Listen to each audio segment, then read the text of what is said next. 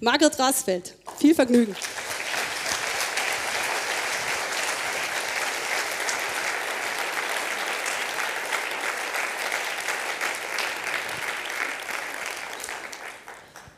Ja, schönen guten Abend. Ich freue mich, dass ich hier bin und ich freue mich auch, dass ich bei der ÖDP bin.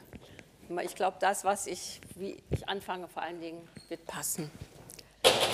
Ja, ich fange gar nicht mit der Schule an, sondern äh, mit dem Zustand unserer Welt. Wo steht die Welt? Und die zweite Frage ist, was braucht die Welt? Und die dritte Frage ist, wie muss dann Bildung aussehen? Was heißt das für Bildung? Einige von Ihnen werden sich erinnern, andere haben vielleicht davon gehört, 1992 gab es den ersten großen Weltkonferenz, die erste große Weltkonferenz für Umwelt und Entwicklung in Rio de Janeiro. Erstmalig haben sich alle Staaten getroffen, weil sie realisiert hatten, dass wir die großen ökologischen Themen, die großen sozialen Themen nur in globaler Partnerschaft lösen können. 1992 in Rio. Dort wurde auch erstmals Ökologie, Ökologie und Soziales zusammengedacht. Und zu diesem Kongress sind drei 12- und 13-jährige Mädchen angereist. Und eine davon hat gesprochen.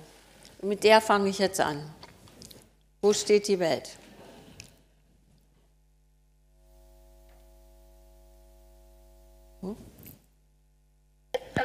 I'm Severin Suzuki speaking for ECHO, the Environmental Children's Organization.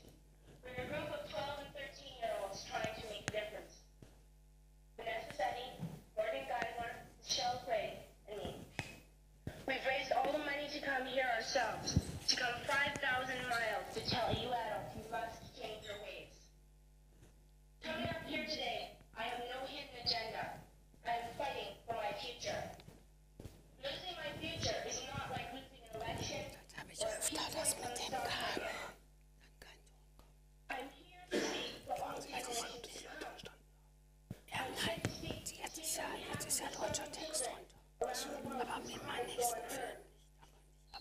Handmikro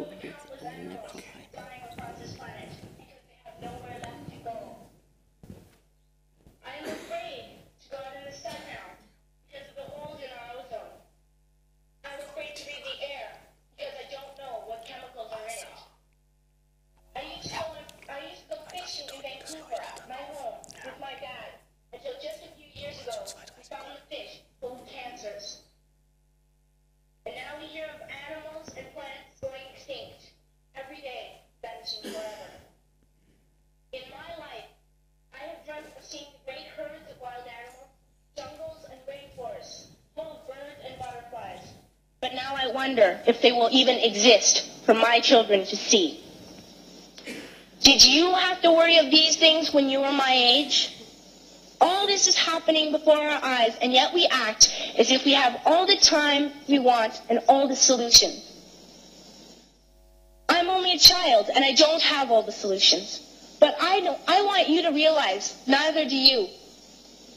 You don't know how to fix the holes in our ozone layer. You don't know how to bring the salmon back up in a dead stream. You don't know how to bring back an animal now extinct. And you can't bring back the forest that once grew where there is now a desert.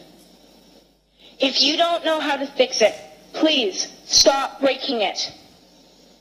Here, you may be delegates of your government, business people, organizers, reporters, or politicians, but really, your mothers and fathers sisters and brothers, aunts and uncles, and all of you are someone's child.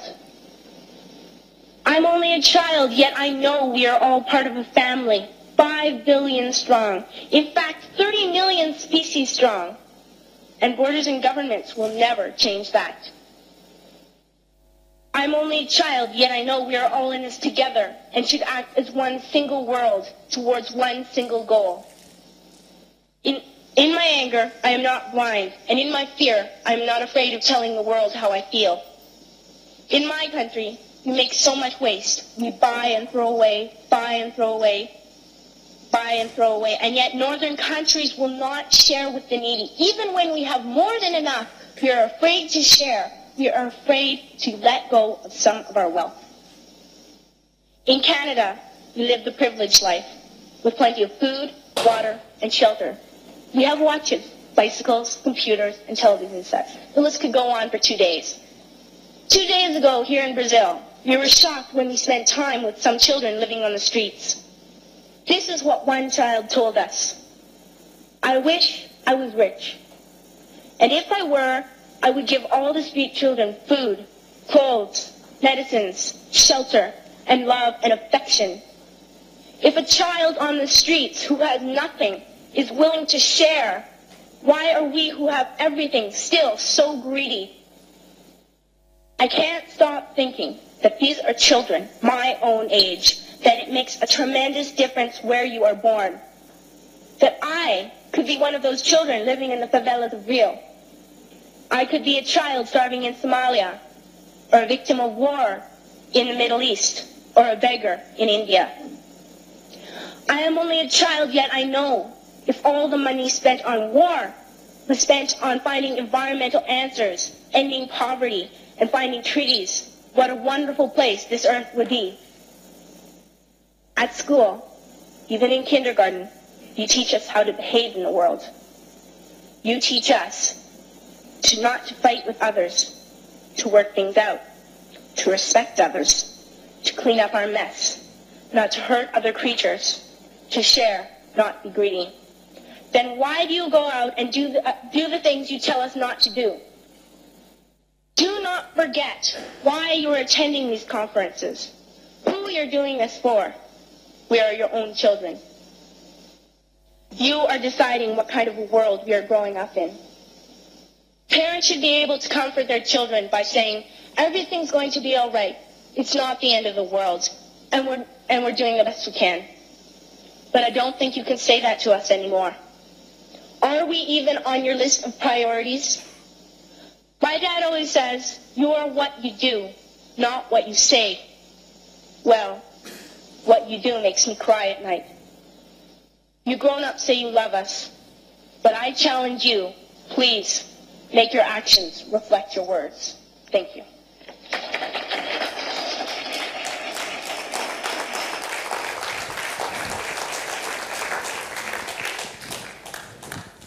Ja, das war vor 26 Jahren. Man könnte diese Rede heute ähnlich halten. Es ist zwar viel Positives auch passiert. Zugang zu sauberem Wasser hat sich erheblich erhöht. Schulbildung, Grundbildung, die Zahl hat sich halbiert von den Kindern, die nicht in die Schule gingen und so weiter. Aber wir haben riesige Herausforderungen. Und ähm, der Kontinent wo diese Erfolge noch nicht greifen, ist Afrika. Ja, ähm, wir haben ja ein bestimmtes Paradigma in unserer Gesellschaft.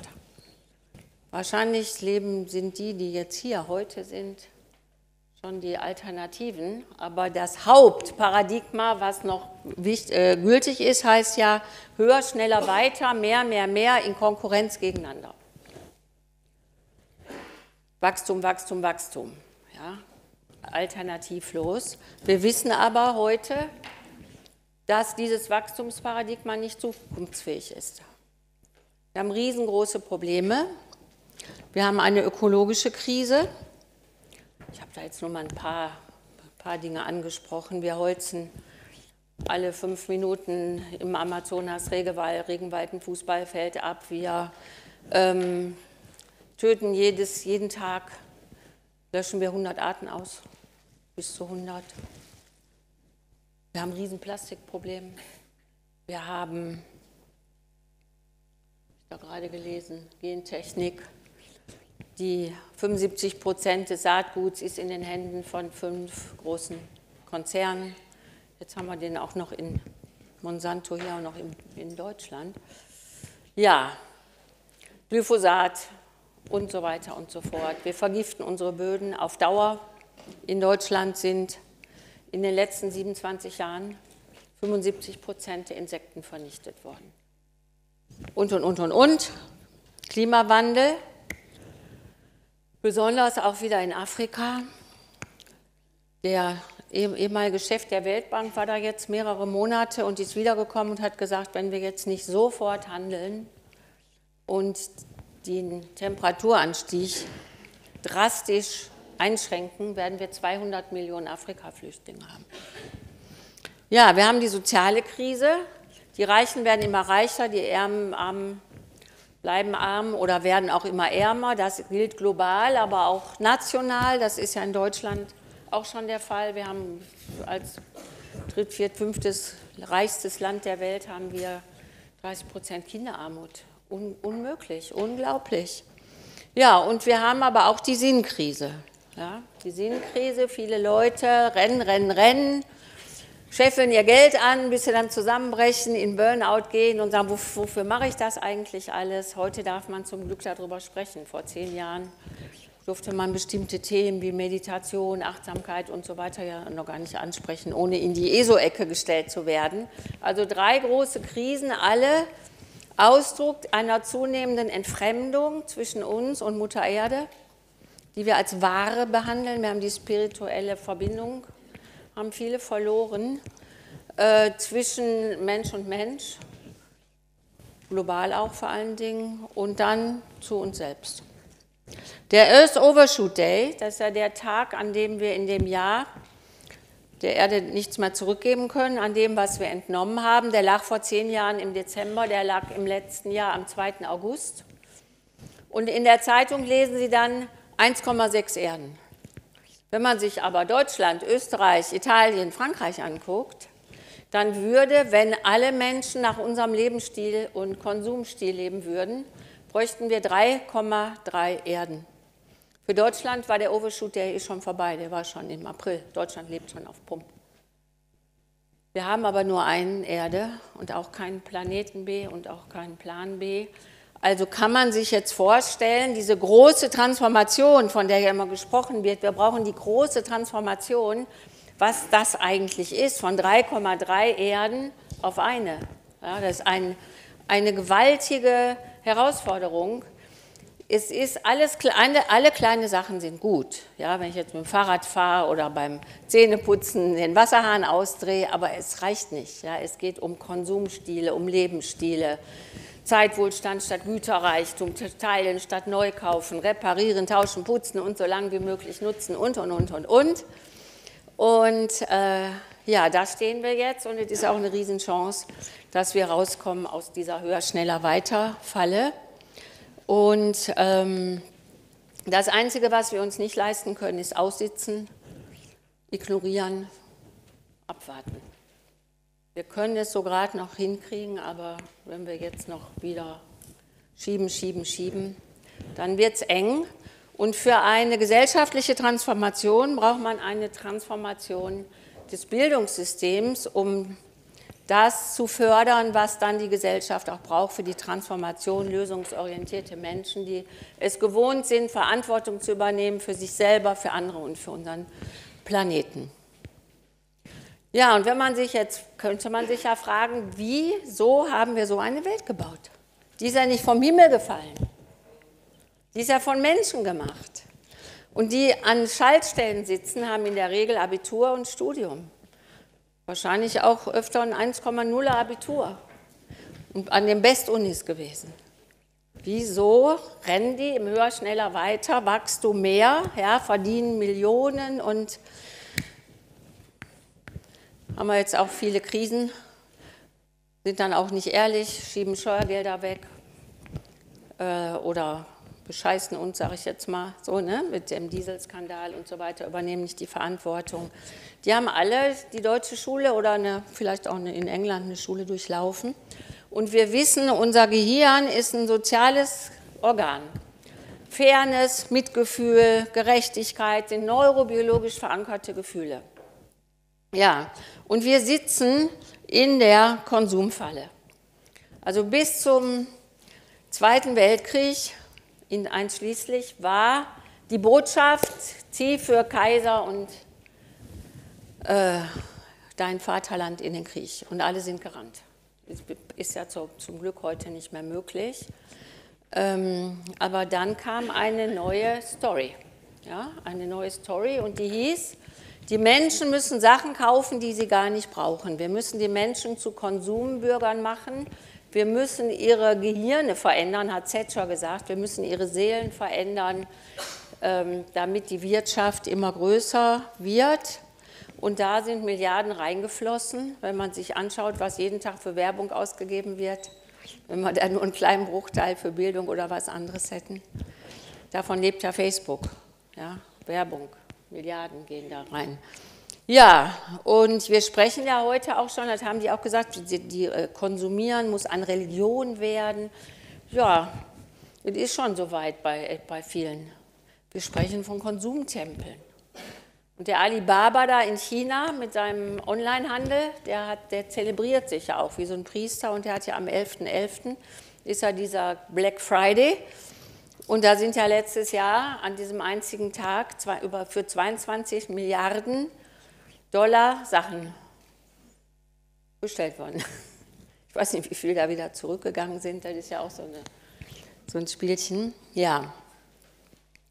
Ja, und man ist jetzt, es gibt man richtig gefeit, sind wir, glaube ich, nicht gegen diese Werbung, weil da die besten Psychologen der Welt dran sitzen. Aber es gibt Menschen, die sind anfälliger und Menschen, die sind nicht anfälliger. Und wer über Konsumieren seinen Selbstwert sich erhöht, der lebt meistens aus dem Mangel und nicht aus der Fülle. Ja, und dann denkst du, ah, wenn dies jetzt noch hast und jenes und dann bist du wer. Da gehen auch tatsächlich im Gehirn die Belohnungssysteme an, aber sie wissen alle von sich selber, wenn sie mal so einen Frustkauf machen, das hält dann auch nicht so lange an. Und ähm, ja, und da bin ich jetzt dabei, wie wir eigentlich schon auf unsere Kinder aufpassen müssen spreche da erstmal auch Eltern an.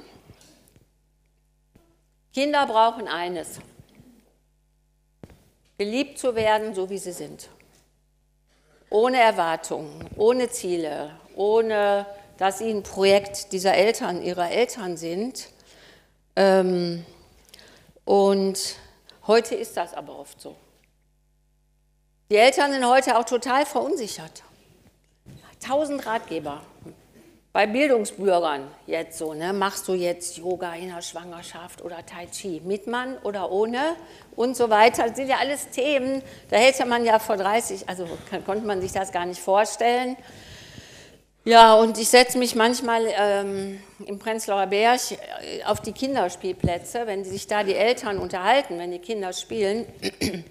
Da geht es eigentlich nur darum, deiner spricht schon, meine noch nicht und so weiter. Also nur um solche Sachen, diese Kinder werden verglichen in der Sorge, dass mit meinem etwas nicht stimmt. Das ist ja alles Sorge, ja, das ist ja nicht jetzt Absicht, man will sich sein Kind schädigen, aber die Kinder spüren das und sie wollen ja den Eltern, dass sie geliebt werden, später dann auch in Schule und so weiter und werden dann außenorientiert.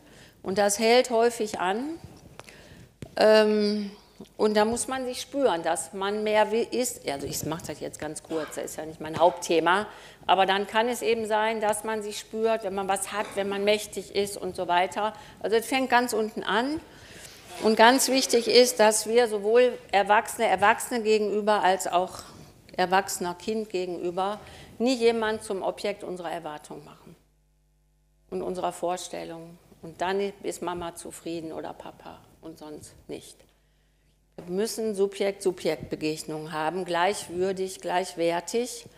Ja, und wenn man so aus dem Mangel lebt, dann ist man konsumanfällig, Steilvorlage eigentlich für die Gesellschaft. Und wenn man aus der Fülle lebt, dann ist man nicht so anfällig für Konsum. Ja, und hier spielt jetzt die Schule eine ganz große Rolle mit den Erwartungen und ob ein Kind richtig ist oder gut ist oder sonst was ist, haut die Schule dann voll rein. In der Schule heißt dieses höher, schneller, weiter, mehr, mehr, mehr, heißt da schneller, effizienter 1,0. Und wieder in der Haltung in Konkurrenz gegeneinander. Die große Transformation bedeutet aber, aus dem Konkurrenzmodus in die Kraft des Wir zu gehen. Ist also eine völlig andere Geisteshaltung.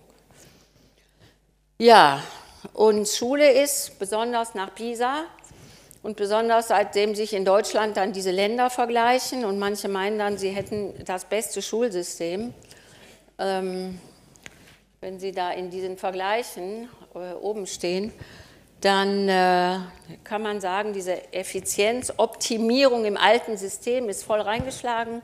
Standardisierte Schüler, äh, vermessene Schulen und, und, und, und, und laufen im Hamsterrad.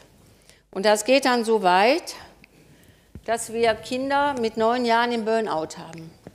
Vor drei Jahren ist der Professor Schulte-Marquardt, der leitet eine kinderpsychiatrische Klinik in Hamburg, der hat gesagt, ich muss jetzt mal raus, weil die Psychologen, die schweigen ja auch alle. Oder die sagen, immer mehr Kinder sind krank, wir brauchen mehr Psychologen, als ob das die Lösung wäre. Ne? ja, ist so. Und ähm, ja, und der beobachtet seit nunmehr acht Jahren Kinder im richtigen schweren Burnout, neunjährige Kinder, verinnerlichter Leistungsanspruch, die 1,0.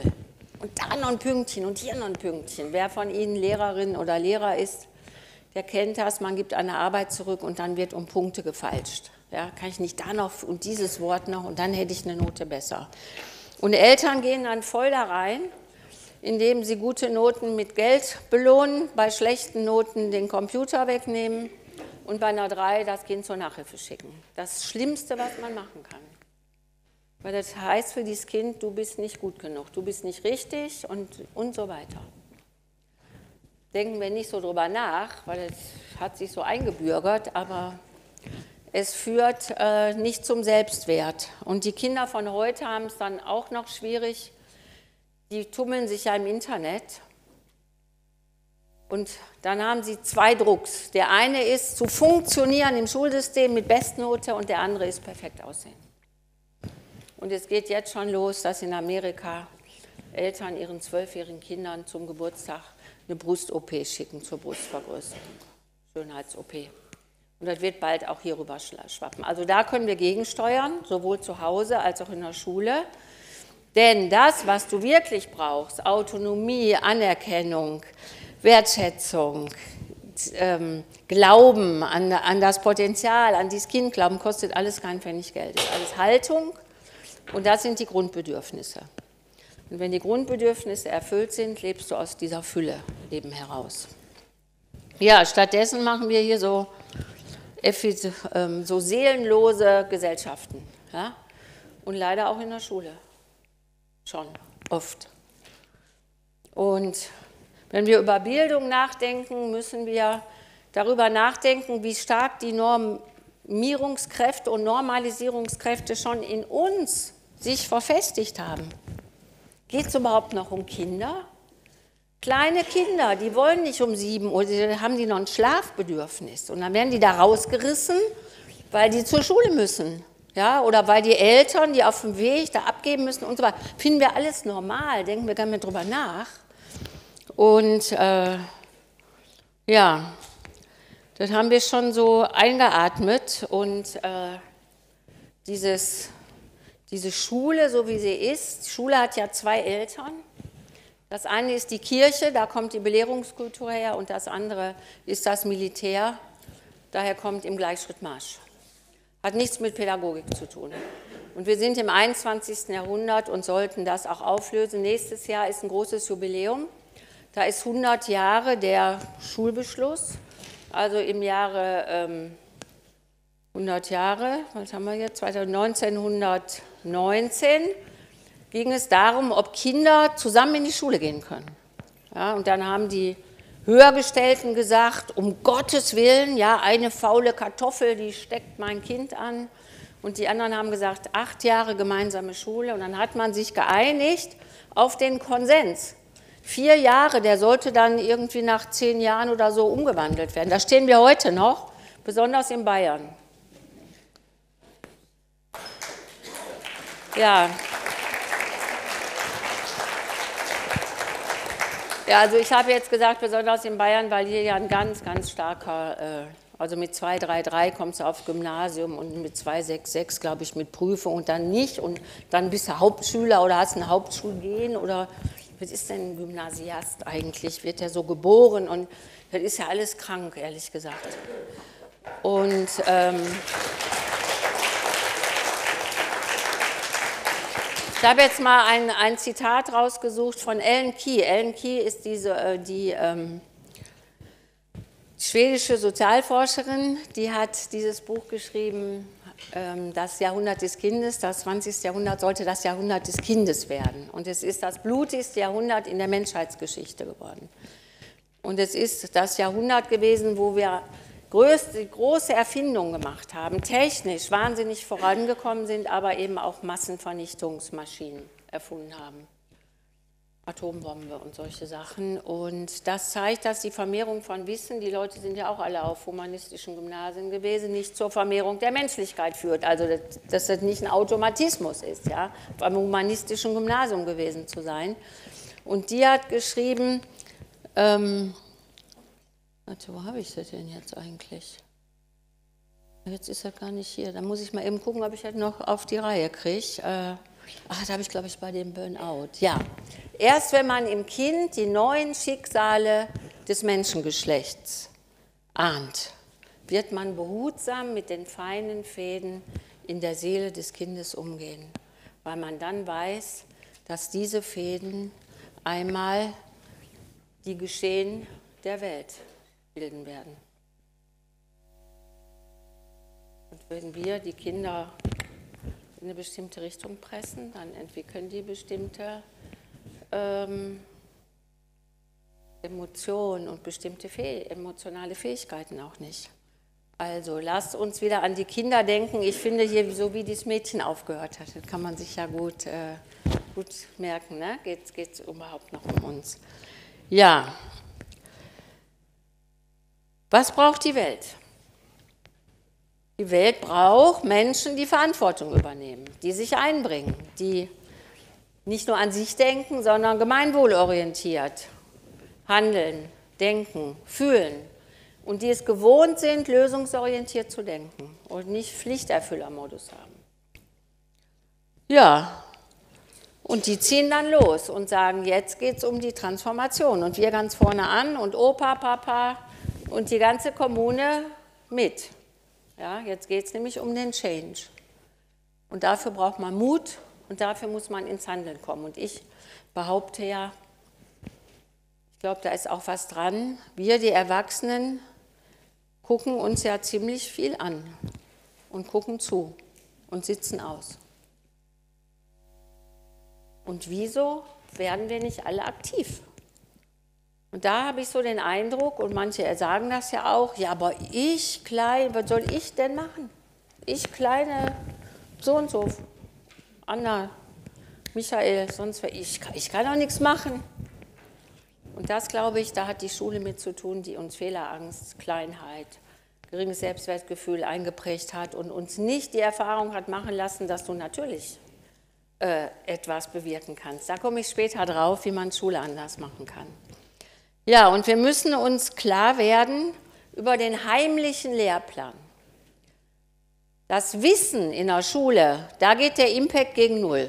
Wenn ich Ihnen jetzt, wenn Sie nicht gerade Technik oder Mathe studieren, eine Mathematikaufgabe aus Klasse 12 gebe, werden hier die meisten dran scheitern, wahrscheinlich schon aus von Klasse 10.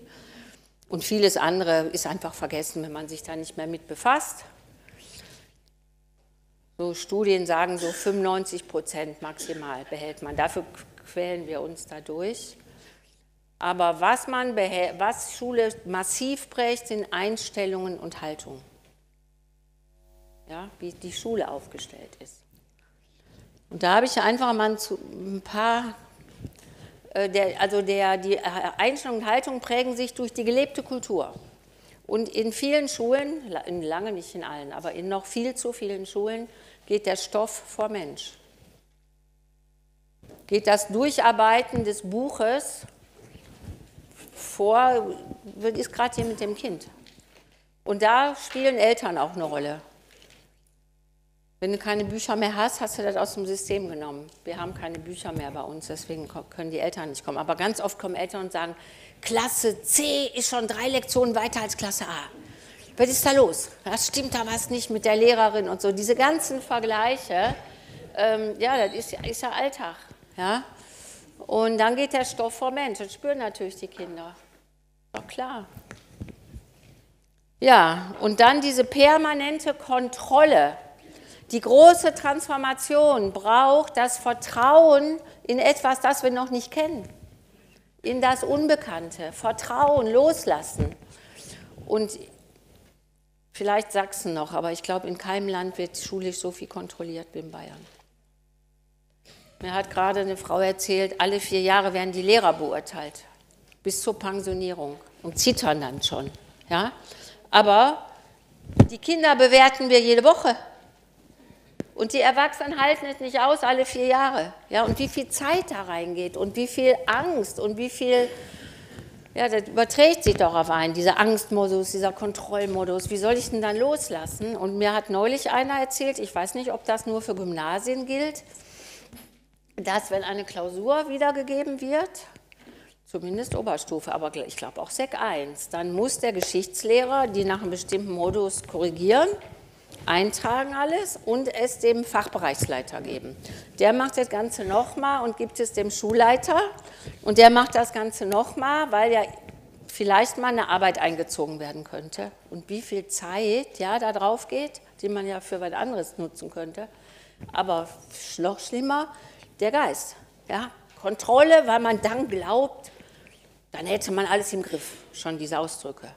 Ja? Nichts hat es im Griff, gar nichts. Ja, stattdessen Vertrauen. Ja, die ständige Bewertung. In keinem Bereich in der Gesellschaft wird so viel bewertet wie bei Kindern. Und viele Grundschulen geben Noten. Unmöglich. Die Erwachsenen halten das nicht aus und die Kinder werden da bewertet. Die kriegen einen Wert. Ja, wenn du eine 4 bist, sagen die, bin ich ausreichend? Als Mensch. Ich habe schon Kinder gehabt, die kamen im Zeugnis, ich bin ein schlechter Mensch. Ich sage, wie, du bist ein schlechter Mensch? Ja, ich habe nur 2,0 Durchschnitt. Die anderen hatten alle eins. Ich bin ein schlechter Mensch. Und ich war neulich, schon ein bisschen her, war, war ich an der Kasse und da hat so ein kleiner Junge hat gesagt, Mama, weshalb darf ich nicht mit meinen Freunden aufs Gymnasium?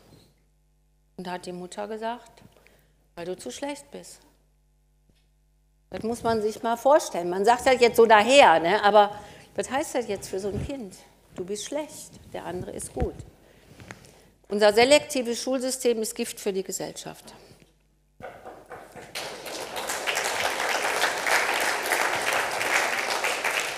Ich weiß nicht, ob Sie die Heidmeier, also ich weiß gar nicht, wie weit Sie sich mit Schulen, mit Schulsystemen befassen.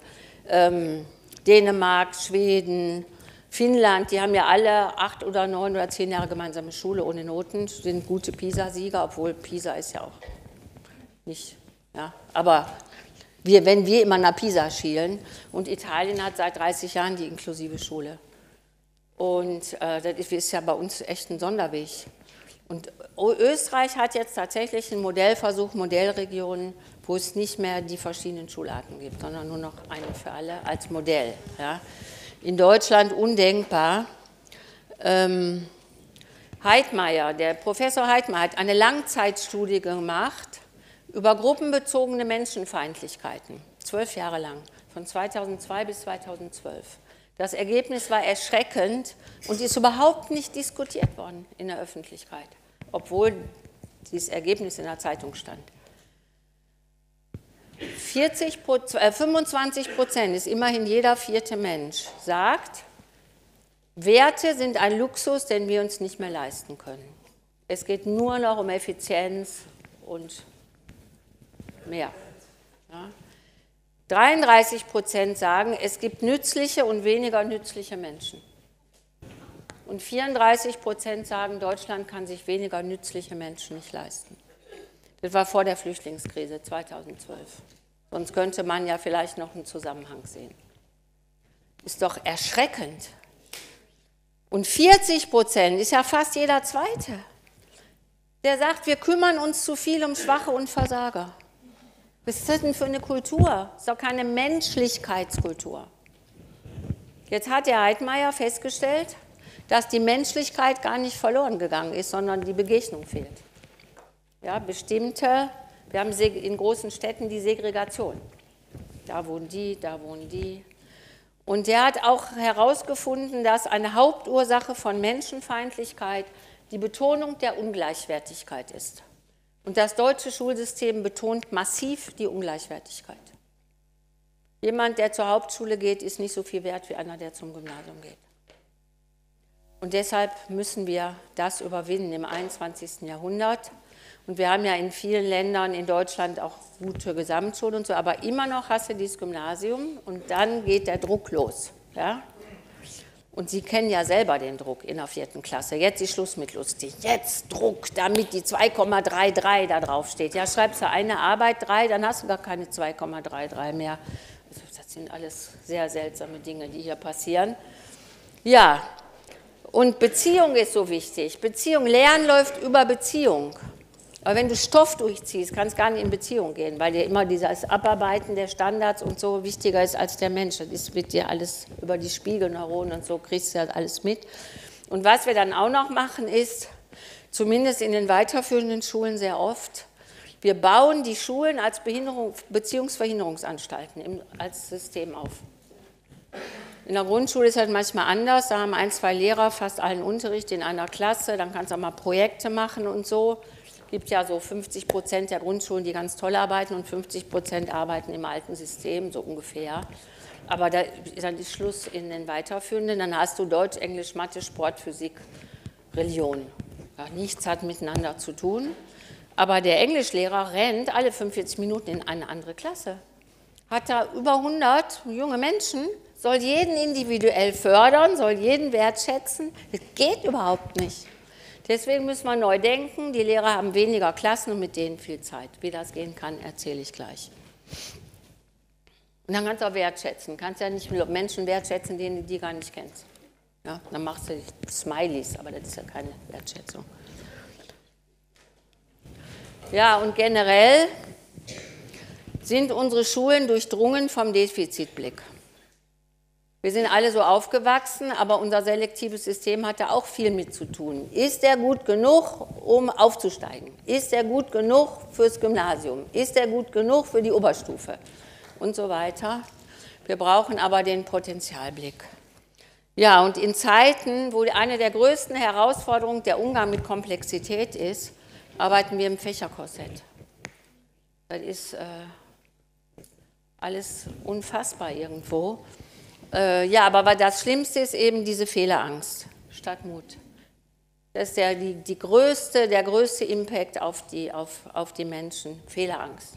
Deswegen haben wir ja auch so wenig Gründer und so weiter und so wenig Leute, die Risiko eingehen, immer Schule im Hintergrund. Ja, und dann, machen, äh, dann kommen da raus Pflichterfüller statt Zukunftsgestalter, statt Global Mindedness, äh, Global Citizens. So. Und das Interessante ist ja, dass viele Unternehmen ja gar nicht mehr auf Noten gucken. Ich hatte neulich, äh, neulich ist auch schon zwei Jahre her, da hat, hat Lufthansa mich angerufen, und zwar die Abteilung, die die Zukunft, also die, die Menschen von den Unis holt, von denen sie glauben, sie haben das Potenzial, einmal CEO zu werden. Das war vor drei, warte, war ich noch, vor zwei Jahren so ungefähr. Dann hat sie mir erzählt, bis, vor, bis drei Jahre davor haben wir die Best-Unis der Welt besucht, uns die Einser genommen und die, die sind dann gekommen. Sie gucken auf keine Note mehr, auf kein Studienfach mehr, auf keinen Studienort mehr. Und die 1,0er gucken sich ganz genau an. Ein 1,0er kann auch ein kreativer, toller Mensch sein, aber viele sind auch am besten durchs angepasste System gegangen. Und du musst dich da bewerben mit einem Film, der deine Persönlichkeit zeigt und in dem du einige vorgegebene Dinge kreativ einbauen musst und dafür hast du, glaube ich, fünf Stunden Zeit und dann so ein drei Minuten Film. Die sind super, die stehen auch im Internet. Ja, und dann kommt noch ein anderer Prozess und wenn sie dann ihre Gruppe haben, dann kriegen die 18 Monate Persönlichkeitsbildung. Peer-to-Peer-Coaching machen wir in der Schule. Die gehen alle drei Monate nach Indien in ein soziales Projekt, machen wir in der Schule und so weiter, damit überhaupt lernen, aufeinander einzugehen, im Team zu arbeiten, Perspektivwechsel vornehmen können und so weiter. Ja? Machen die dann, weil die brauchen persönlichkeitsstarke, kreative Leute und keine Anpasser. Und dann die Eltern, die dich dann immer zur Nachhilfe schicken, damit du die Eins auf dem, auf dem Zeugnis hast. Ja. Also die Unternehmen, die sind schon woanders. Ja, und jetzt zeige ich Ihnen mal einen kleinen Film. Die meisten Ach so. Sie müssen sich einfach mehr trauen. Sie müssen äh, sich selbst vertrauen und auch selbstständig sein. Weil wenn sie selbstständig sind, dann können sie auch mit Herausforderungen umgehen. Dann lernen sie auch ähm, Verantwortung zu übernehmen.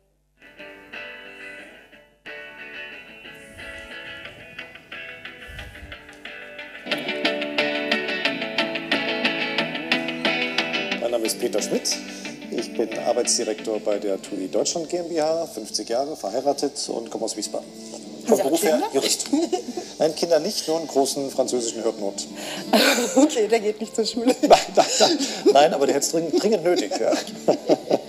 Anlässlich des zehnjährigen Jubiläums des Goinger Kreises hatten wir Frau Rasfeld mit zwei? Schülerinnen äh, im Sommer 2014 äh, zu einem Vortrag über die Schule im Aufbruch bei uns. Und wir waren restlos begeistert. Das waren zwei Schülerinnen, die waren so um die 14 Jahre alt und die haben uns von den Lernbüros erzählt, haben uns von der Eigenverantwortung erzählt, äh, die sie dort an den Tag äh, legen müssen. Äh, Und wir waren alle so äh, begeistert von der Persönlichkeit äh, von, von den zwei jungen Damen äh, und wie stark dort auch äh, das Thema Persönlichkeit formen und fördern in den, in den Vordergrund gestellt wird bei, von der Schule im Aufbruch, dass wir auch spontan gesagt haben, wir wollen dort gern zusammenarbeiten. Mein Name ist Franz Eichinger. Ich bin geschäftsführender Gesellschafter eines Unternehmens, das sich damit beschäftigt, dass Menschen gesund ihre Arbeit machen können. Sie eine Idee, wie Schule Sie darauf vorbereiten könnte? Ja, da gibt es eine ganze Menge Ideen. Ich glaube, Ihre Schüler wissen schon ganz vieles darüber, wie man das üben kann. Also vieles tun sie an dieser Schule ja schon. Das heißt gerade das Thema Eigenverantwortung, das Thema Freiheit im Denken, das Thema kritisch sein zu dürfen, viel zu diskutieren, Eigenverantwortung zu übernehmen, aber auch Verantwortung für anderes zu übernehmen. Das sind Dinge, die muss man im Alltag praktisch üben und das kann man gar nicht früh genug tun. Und Lernen heißt in dem Fall jetzt nicht wissensmäßig aufnehmen, sondern ich muss es probieren. Ja, ich muss es erleben. Ich muss auch mal einen Misserfolg damit erleben. Also das heißt, ich muss damit umgehen lernen. Deshalb heißt es ja wirklich entwickeln von solchen Kompetenzen und nicht vermitteln von solchen Kompetenzen. Wir sind jetzt zusammengekommen, um über Kompetenzen zu reden. Ähm, und wir versuchen jetzt rauszufinden, was sind so Kompetenzen, die idealerweise Berufseinsteiger, aber auch Leute im Beruf brauchen, aus ihrer Perspektive. Wir wünschen uns ähm, Auszubildende, Universitätsabsolventen, die ähm, mit Kompetenzen äh, Lernveränderungsbereitschaft äh, zu uns kommen, die äh, Verantwortung übernehmen, die Initiative zeigen. Wir stellen fest, dass die Schulen ähm, stark Frontalunterricht machen, dass dort offensichtlich wenig Zeit besteht, sich um Sozialkompetenzen, persönliche Kompetenzen zu kümmern. Und ähm, dadurch äh, haben wir verstärkt Probleme mit gerade diesen Kompetenzen, Lern- und Veränderungsbereitschaft, ähm, mit Thema Verantwortung übernehmen, Initiative zeigen. Ähm, das sind Dinge, an denen es leider ähm, etwas mangelt. Ich stopp den mal hier, wenn Sie der Film interessiert, der ist auf der Seite von Schule im Aufbruch, im Internet dann auch. Also alle, die auftreten, sagen alle, Eigeninitiative fehlt, Verantwortungsübernahme fehlt und Veränderungsbereitschaft, weil die Unternehmen, die sind ja in einem ständigen Wandel durch die Digitalisierung, die bleiben ja nicht stehen. Und da brauchst du natürlich Menschen, die da mitgehen und die nicht immer sagen, ja, sag mir, was ich tun soll. Das mache ich dann auch. Ja? Und wie lernen denn über, wie lernt man Veränderungsbereitschaft? Kinder lernen zu 80 Prozent durch das Vorbild von Erwachsenen. Und die Schule bleibt stehen.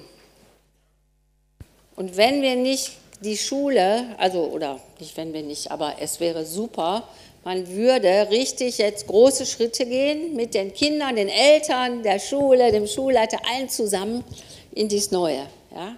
Das Schlimmste, was Kindern passieren kann, sind perfekte Erwachsene. Weil der ganze Perfektionismus, den müssen wir ja zurückdrehen.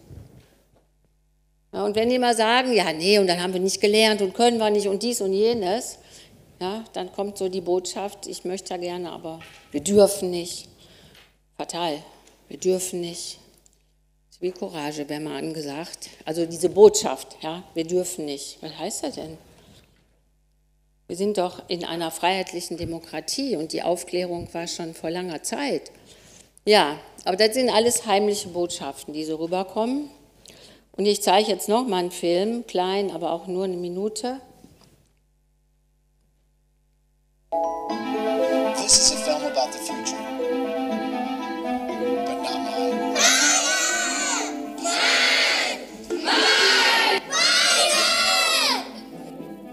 Niemand weiß, wie die Zukunft wirklich sein wird. Informations- und Kommunikationstechnologien verändern drastisch, wie Gesellschaft funktioniert und wie globale Kulturen interagieren. Die Kinder von heute werden als Erwachsene in einer Welt leben, die sich beträchtlich von der unterscheidet, die wir heute kennen. Sie werden Probleme lösen müssen, die unser gegenwärtiges Verständnis übertreffen, mit Fähigkeiten, die noch zu definieren sind, mit Werkzeugen, die noch geschaffen werden müssen.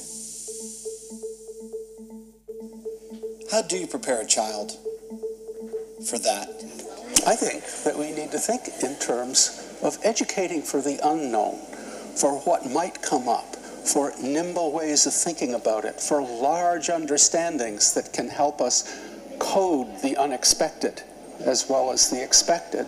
And to me, that means that 90% of what we typically teach is a waste of time. 90% of what we teach probably constitutes particular skills and particular nuggets of knowledge that those kids will never encounter again in a significant way in their lives. It just doesn't matter. Well, that is completely bizarre. We simply have to do better than that. So, sustainability. How can we make the planet make it more sustainable? What can we do? What can you guys do? Eine der wichtigsten Arten, wie Schülerinnen und Schüler sinnvoll lernen können, ist durch selbstgesteuertes und erforschendes Lernen. Inquiry is about uh, thinking to make meaning. So when we try to seek understanding of the world around us, we ask questions, we wonder, we plan, uh, we analyze, we create, and we reflect. Uh, education is, uh, is not a spectator sport. It is something that kids have to be engaged in. And so we're moving towards that more problem based learning, uh, more project based learning, where kids have hands on kinds of experiences and they're learning and constructing meaning for themselves. Sometimes that's kind of scary for educators because kids might come up with their own meaning rather than having our meaning. So we have to feel comfortable with the fact that it's not so much our meaning, but rather it's the process of constructing meaning that will last kids throughout the rest of their lives. It is our responsibility as parents and educators to shift the fundamental principles upon which we educate our children for their future and beyond. There's an urgency in the air in every country around the world. And it's time we act. Ja, und weltweit sind auch, äh, ist viel in Gang. Also ich bin in Südkorea, in Bangkok, in Hongkong. Da sind immer große Kongresse mit internationalen Speakern, wo die Frage gestellt wird, welche Bildung brauchen wir im 21. Jahrhundert? Die wird in Deutschland ja nicht gestellt, weil hier haben wir keine Bildungsvision, weil hier heißt ja, dass die Botschaft oder ich weiß jetzt nicht das richtige Wort, die Länder fighten im Konkurrenzkampf um PISA-Punkte und IQB. Das ist ja keine Bildungsvision. Ne? Ja, was bedeutet das für Bildung? Lernen muss sich substanziell, tiefgreifend und radikal verändern, radikal an die Wurzel gehend. Also diese ganzen, die ich vorhin hatte ich die ja die Begriffe gegenübergestellt, die müssen alle wenden. Ja? Ähm, jetzt habe ich noch ein paar Bilder, die sind dann auch lustig. 100 Jahre, das ist dann so eine lineare Entwicklung und dann kam der kulturelle Sprung, das Handy. Das Handy ist ja kein Telefon.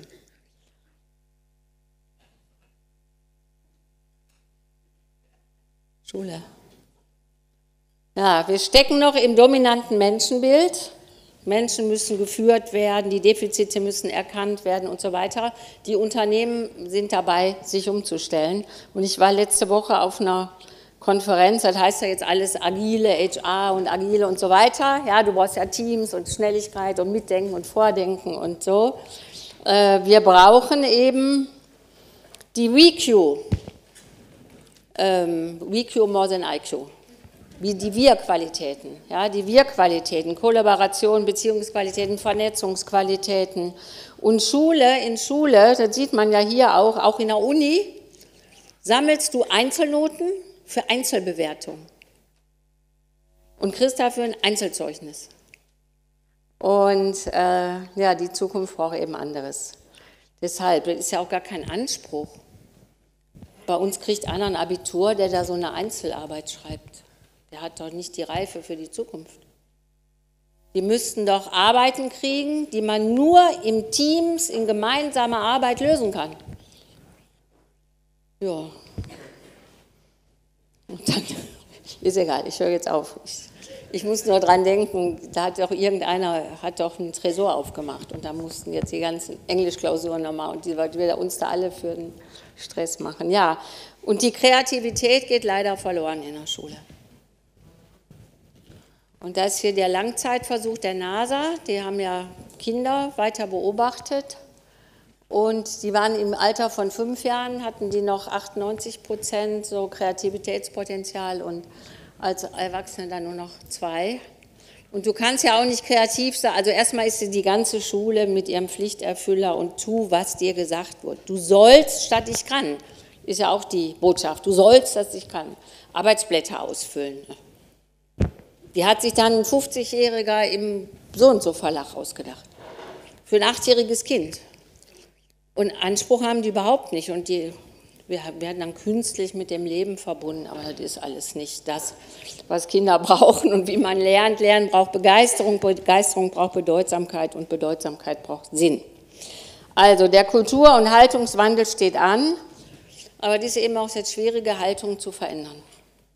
Die kannst du dir nicht anlesen, das ist ganz schön schwierig und da müssen wir alle mitgehen und auch ruhig alle mal wieder scheitern.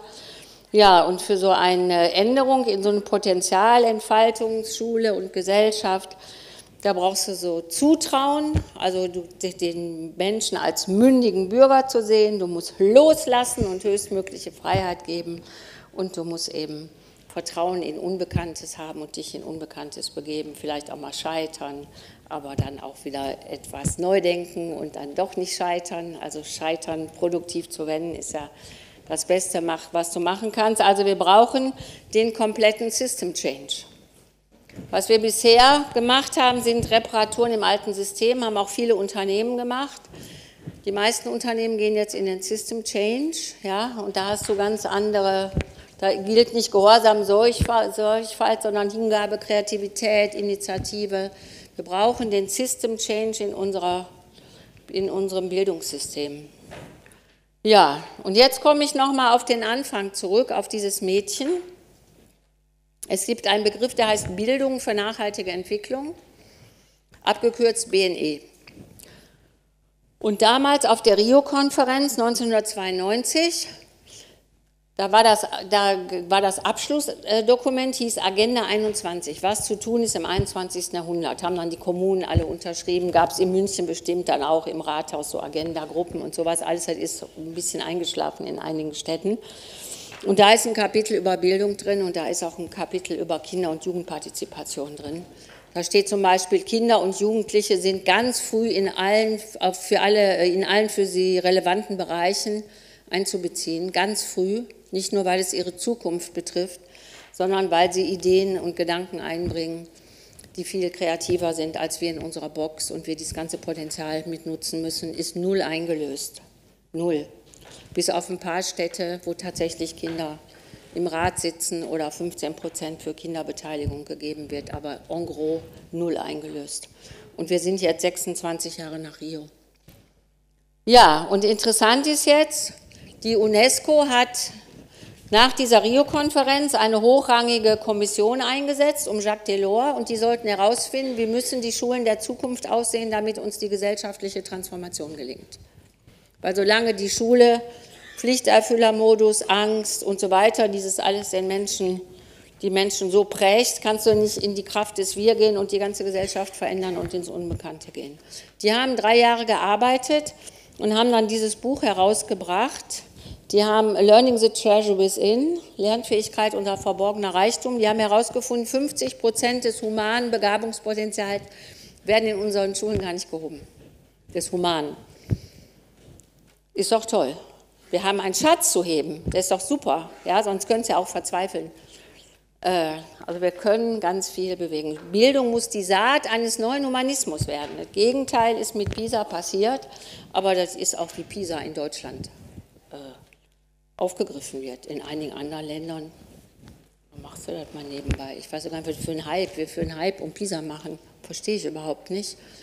Und äh, die haben dann, jedem Kind soll die Möglichkeit gegeben werden, sich als selbstwirksam zu erfahren, sich in die Gesellschaft einzubringen und so weiter. Und die haben dann 1996 empfohlen, die Neuorientierung des Curriculums anhand der vier Säulen, Lernen, Wissen zu erwerben, Lernen zusammenzuleben, Lernen zu handeln und Lernen zu sein.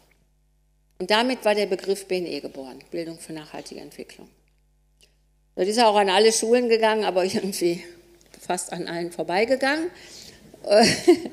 Ich hatte damals 1996 die, äh, die Chance, das Geschenk, eine große Gesamtschule aufbauen zu dürfen in Essen, in einem sozialen Brennpunkt. Und wir haben die Schule auf, anhand dieser vier Säulen aufgebaut. Wir haben uns Agenda-Schule genannt, noch bevor die Stadt Essen unterschrieben hatte, was dazu führte, dass unsere Kinder alle in den Gremien der Stadt saßen, die Fünft- und Sechstklässler. 150 Kinder sind im Bus in die Zeche Zolfe eingefahren und haben an den Leitlinien der Stadt Essen mitgeschrieben und so weiter. Das war ganz toll. Ja, BNE, in einem Wort übersetzt, Gestaltungskompetenz.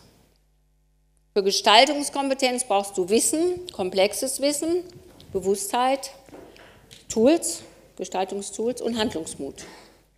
Wenn du alles hast, dann gehst du in die Gestaltung.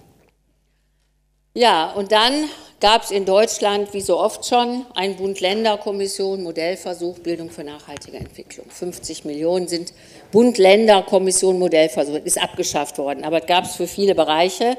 Dann mussten so und so viele Länder mitmachen und der Bund hatte auch Geld reingetan. Da war noch kein Kooperationsverbot, ist ja früher auch nicht gewesen.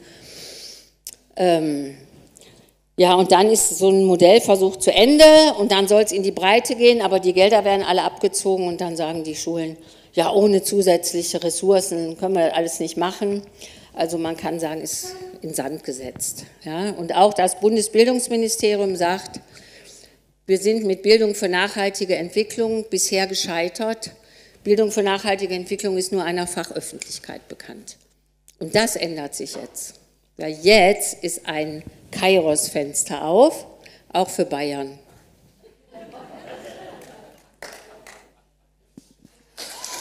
Der Hammer fiel und Jubel brandete auf. Die Einigung auf den Text kam in New York so überraschend, dass sie nur auf Handyvideos festgehalten wurde. Amina Mohamed hat die Verhandlungen koordiniert. Wir haben hier eine extrem ambitionierte Agenda beschlossen. 193 Länder sind sich nun einig, wie wir auf die großen universellen Herausforderungen in dieser Welt reagieren wollen. Hier geht es um uns alle und das macht es historisch. Wissen Sie vielleicht noch nicht, um was es geht? Machen wir eine kleine Aufklärung. We can be. We must be the first generation to end extreme poverty. The generation most determined to fight injustice and inequalities. The generation that saves the planet from climate change. And this is how it will get done. The global goals. A 15 year plan for everyone, everywhere. With no one left behind. Das sind die 17 globalen Ziele, auch Sustainable Development Goals, SDGs genannt, oder manchmal sagt man auch Agenda 2030.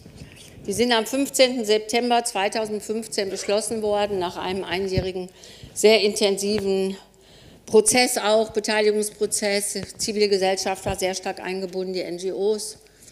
Und äh, bis 2030 sollen die erreicht sein, das heißt also in der großen Linie Klimawandel reguliert, ähm, Armut im Museum und mehr Gerechtigkeit, also deutlich deutliche Schritte.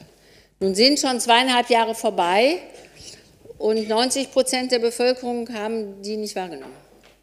Ne, die, waren in der Tagesschau, die standen in der Zeit oder so, aber dann lässt du das ja so vorbeigehen. Äh, und Nummer vier, das Ziel heißt Quality Education. Mit, zum Beispiel mit dem Unterziel Sichern eines integrierenden Bildungssystems für alle. Ein integrierendes Bildungssystem für alle ist das Gegenteil von einem selektierenden Bildungssystem. Und ähm, Quantität ist nicht gleich Qualität. Die Leuphana Universität hat eine Studie gemacht zum Nachhaltigkeitsbewusstsein der 15- bis 21-Jährigen. Dabei ist rausgekommen, in den normalen Fächerkorsettschulen kann Bildung für nachhaltige Entwicklung nicht umgesetzt werden. Schulen scheint es an Innovationsbereitschaft und überhaupt Ideen zu fehlen. Weil es ist so, ich habe ja schon gesagt, ich meine, das muss man sich nochmal so deutlich machen. Deutsch, Englisch, Chemie, Geografie, Religion, Sport. Hausaufgaben, Englisch, Mathe, blablabla, Hausaufgaben, Test, Test, Test. Die ganze Woche ist voll. Du bist überhaupt in diesem Modus erfüllen und so und bewertet werden und Angst und so.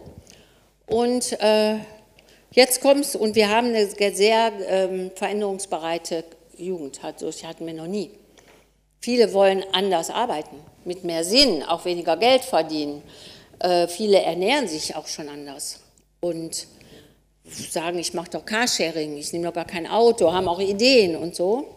Jetzt kommen die Schule, ne, alles zugepackt. Der, der Begriff Fächerkorsett stammt aus dieser Studie. Ich finde den gut. Ich habe mir den jetzt angeeignet auch. Ähm, jetzt kriegen die nur Katastrophen, wie wir auch. Ja, wenn wir heute Abend den Fernseher anmachen, fängt der ja nicht an mit Good News. Wir haben jeden Tag Good News. Wir haben zwei Millionen Initiativen auf der Welt, die schon richtig gute Sachen in die Welt bringen. Viele davon Social und Ecological Entrepreneurs, junge Menschen und so weiter. Da lassen sich Jugendliche sofort anstecken und sagen, boah, ich will dann auch. Ja? Nee, kriegst du wieder da einen Krieg, da dies, da jenes und so weiter. Ich glaube, diesen Kanal und auch diese Talkshow müssen wir uns selber machen. Und die muss so attraktiv sein, dass da Millionen Menschen draufgehen. Da bin ich gerade am Nachdenken drüber. So, und wenn die jetzt nicht Freiraum kriegen, um rauszugehen und etwas zu tun, wo sie merken, ich kann die Welt verändern. Ich kann was tun für andere, für die Ökologie, für, für Menschen, was Soziales. Und sich als selbstwirksam erleben, dann ist die Gefahr groß, dass die ähnlich inaktiv werden wie wir. Weil du das dann ja so zur Seite schiebst, hast nicht die andere Erfahrung, du bist, man ist ja völlig überfordert mit den ganzen Katastrophen. Ja, und deshalb ist es total wichtig, ähm, dass wir diese Freiräume schaffen, so, und jetzt ist was richtig Gutes passiert. Die UNESCO hat jetzt nach äh, diesen Global Goals hat die einen Weltaktionsplan Bildung für nachhaltige Entwicklung rausgebracht, die Roadmap. Und da stehen Sachen drin, also die UNESCO hat ja schon oft gute Sachen ähm, geschrieben, aber da geht es jetzt darum, Bewusstsein für die Veränderung. Es geht um einen Paradigmenwechsel, Bildung für nachhaltige Entwicklung ist ganzheitlich und transformativ. Ziel ist die Veränderung, die Transformation der Gesellschaft. Das heißt, Ziel von Schule ist die Transformation der Gesellschaft. Steht auch bei der UNO, was ist der Sinn von Schule im 21. Jahrhundert, junge Menschen zu befähigen, friedliche, gerechte, ökologische, inklusive Gesellschaften aufzubauen. Das ist der Sinn von Schule im 21. Jahrhundert und nicht ein 1,0 Abi reingezogen, ausgespuckt. Ähm, die, ähm, jetzt hat die UNESCO ja schon viele gute Sachen geschrieben. Die haben auch letztes Jahr ein Heft rausgebracht. Da steht drin, Bildungssysteme, die den Schüler als Ware behandeln, sind strikt abzulehnen. Und dann bringt sie doch nichts. Aber jetzt sagen sie, wir brauchen den Whole Institutional Approach, ja, also dieser Paradigmenwechsel, innovative Lernformate, Gebäude und Campus. Ich sage dazu, leben, was wir lehren. Kannst nicht über Plastikgefahr unterrichten und benutzt die ganze Zeit Plastik in der Schule und so weiter. Und der dritte ist dann die wertschätzende Kultur nach innen und außen. Niemand hat alleine genügend Wandelpotenzial. Schule muss mit außerschulischen Partnern zusammenarbeiten. Und auch da musst du diese wertschätzende Kultur leben. So, und jetzt ist Folgendes passiert. Jetzt hat doch tatsächlich das Bundesbildungsministerium mit 350 Vertretern aller gesellschaftlichen Gruppen, Kirche, Arbeitgeberverband, NGOs und so weiter, den Weltaktionsplan in einen nationalen umgewandelt. Es gab sechs Fachforen, frühkindliche Bildung, Schule, Berufsschule, Hochschule, Kommune und Jugendpartizipation. Und die haben immer etwas erarbeitet, auch in interdisziplinären Gruppen, dann eingespielt in die Gruppe und so weiter. Und im Juni letzten Jahres ist der nationale Aktionsplan Bildung von nachhaltiger Entwicklung verabschiedet worden. Da steht drin. Kann man das lesen hinten? Ja?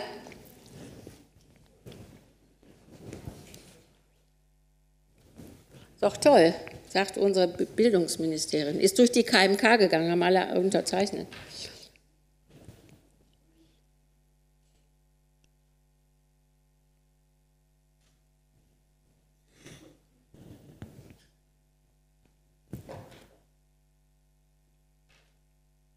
Also da stehen im Vorwort, also in diesem Vorspann stehen total tolle Sachen. Für die Kitas ist ganz klare Linie angesagt. Alle Träger treffen sich jetzt und machen dies und jenes. Für die Schule ist dann das, was mal drin stand, da, der war, da stand richtig, richtig gute Sachen drin, ist ein bisschen verwässert worden, weil ja konservative Länder mit unterzeichnen mussten. Ähm, aber es steht da, hat alles Empfehlungscharakter. Die Schulleiter mögen dafür sorgen, ja, dass Jugendliche Freiraum haben, um sich in der Gesellschaft zu betätigen und so. Also da stehen, also jetzt wird, jetzt liegt halt in jedem Kultusministerium liegt das, ne? Aber da liegt halt auch noch in 20 Jahren, wenn wir jetzt von unten das nicht aufgreifen und das nutzen und was tun. Ich habe zum Beispiel in Baden-Württemberg alle Schulen angeschrieben, wer sich transformieren will haben sich 75 Schulen gemeldet. Die waren auch schon mit Schulleiter da. Also jetzt Bildung für nachhaltige Entwicklung im Zentrum und im Ministerium die Beauftragte für NB. Wir arbeiten ganz eng zusammen. Die hat auch Mittel und wir machen zusammen Fortbildung und so weiter. Ähm, ich hier in Bayern weiß ich jetzt auch nicht so genau, wie das ist. Ähm, aber es ist jetzt angesagt für die Republik. Ja, es ist weltweit angesagt. Ja, Darum geht's, die Zeit ist reif, überreif. Und was wir machen müssen, wir überschreiten ja schon Kipppunkte im Erdsystem. Wenn wir deutlich 2 Grad überschreiten, so auf 2,3, 2,4, gehen wir in irreversible Prozesse, die nie wieder zurückgedreht werden können. Dann wird der Amazonas-Regenwald Wüste.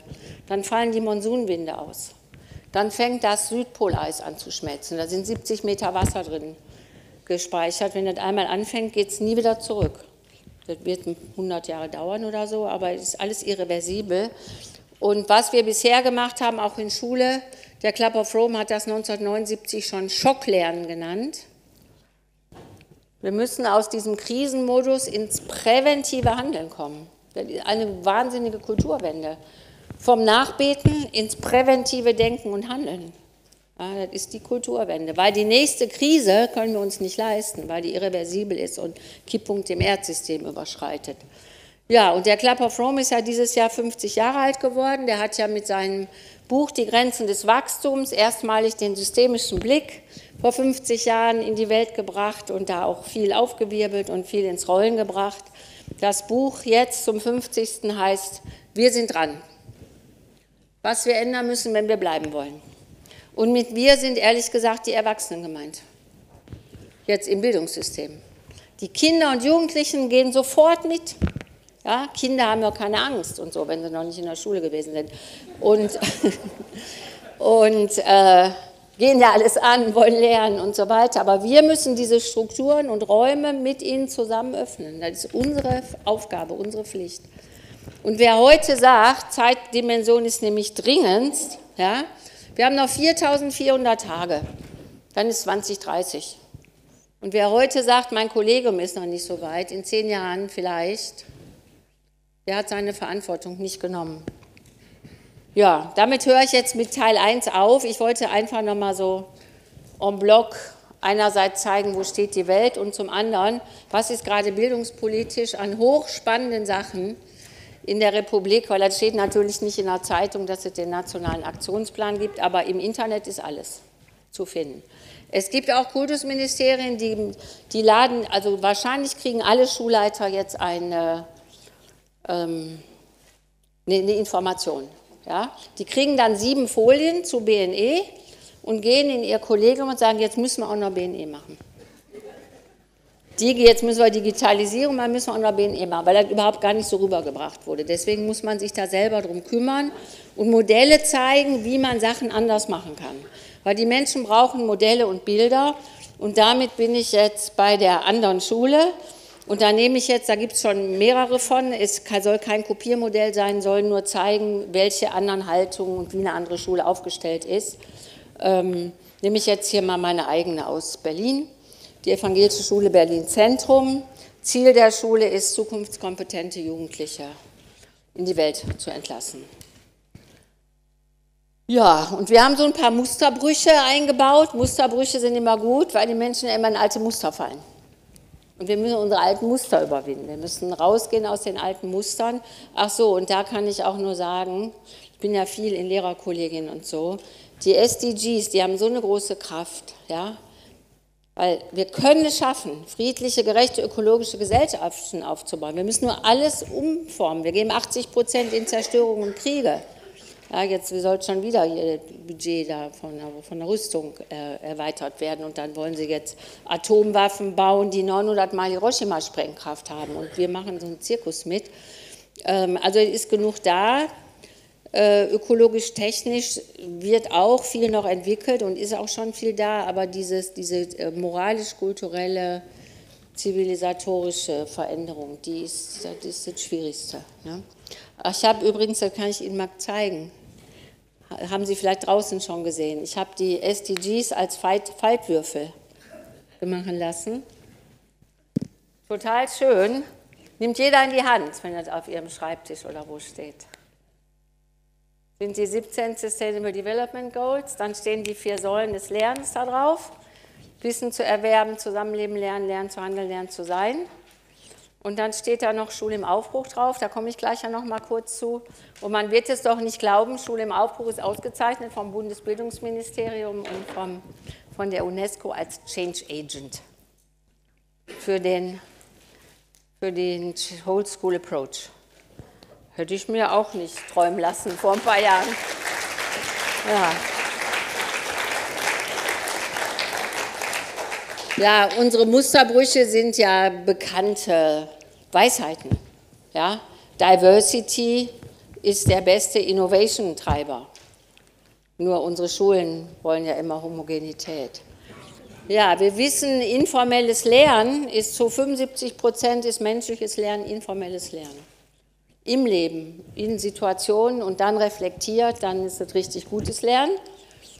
Und nicht didaktisiert, nicht vorgeplant, nicht auf ein Arbeitsblatt und so.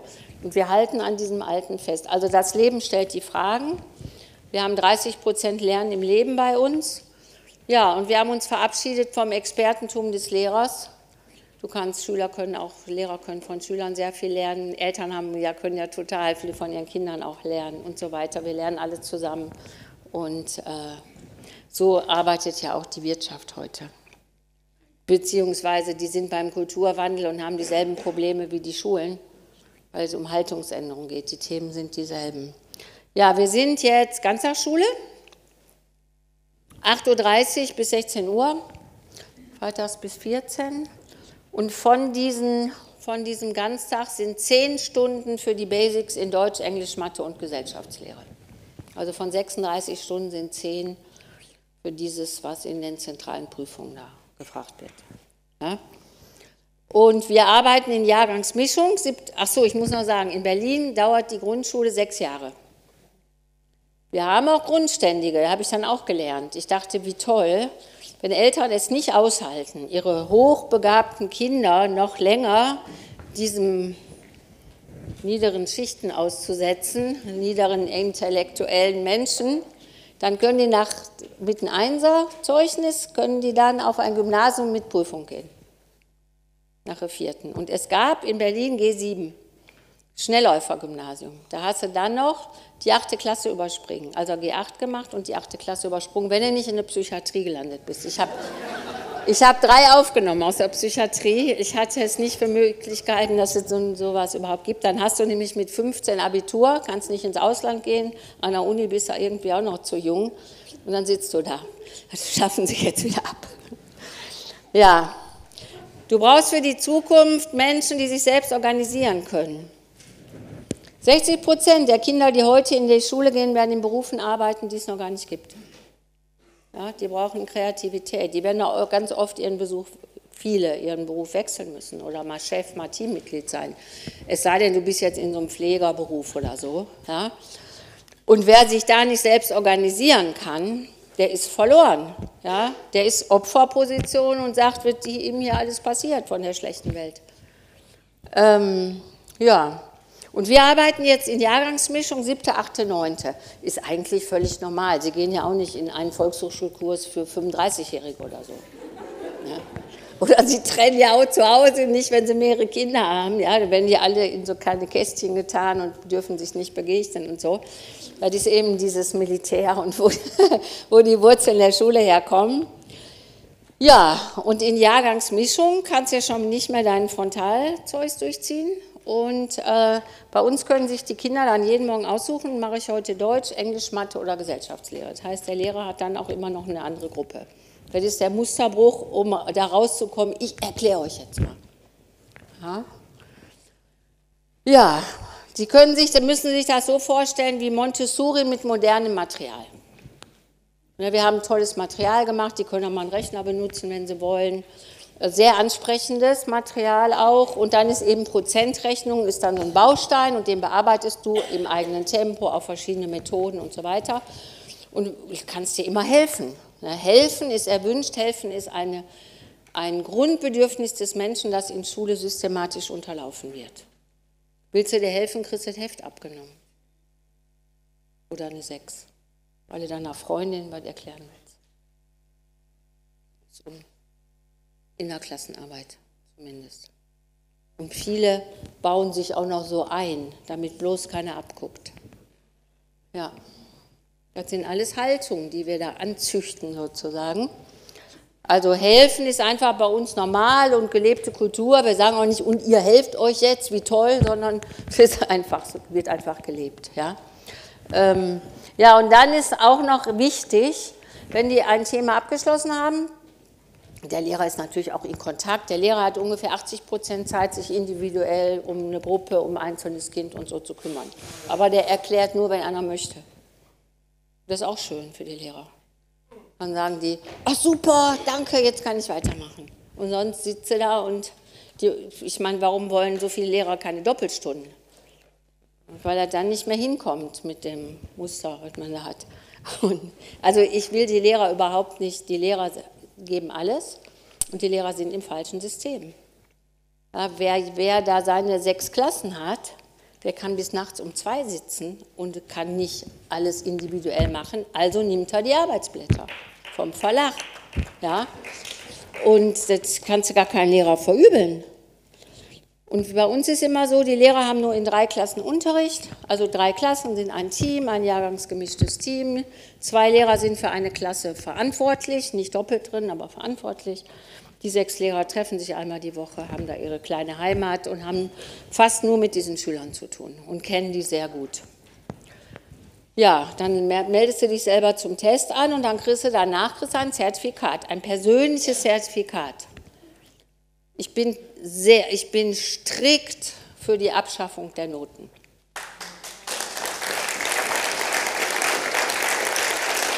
Und zwar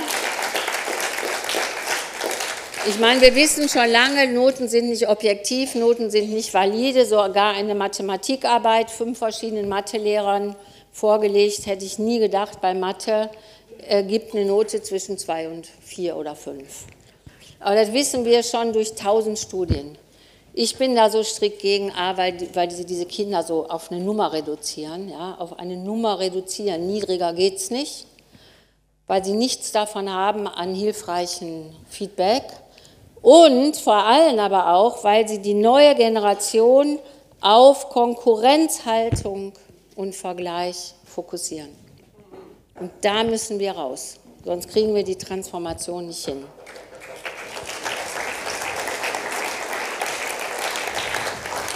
Und die, äh, was wir machen ist, jedes Kind kriegt ein Zertifikat wir arbeiten immer nach Top-Tip-Modell. Wir, wir, sitzen auch oft im Kreis und äh, Kinder geben sich Feedback und so weiter. Immer Top-Tip. Was ist dir gut gelungen und was könntest du das nächste Mal noch besser machen? Worauf solltest du achten? Und dann steht da drunter so eine Art Kompetenzraster. Ne, und dann siehst du deinen persönlichen Fortschritt, auch sozial, wie du dich verhalten hast und so. Sehr motivierend, weil es ist Wertschätzung der Person. Kein anderer hat mein Zertifikat. Mein ich habe ja normalerweise Schüler mit, wenn Sie mal unsere Schüler erleben wollen. Es gibt viele Filme, wo die dann auch sprechen. Ich erzähle dann gar nichts über die Schule, weil die es viel besser können. Aber ich konnte die nicht mitnehmen, weil ich jetzt schon ein paar Tage auch unterwegs bin. Ähm, aber diese, die sagen dann so richtig tief berührt, mein Lehrer hat sich die Zeit genommen, sich genau mit mir befasst und so weiter. Totale Wertschätzung. Ja, das ist jetzt dieser Block. Was haben wir gemacht? Wir haben Angst und Stress und Druck rausgenommen.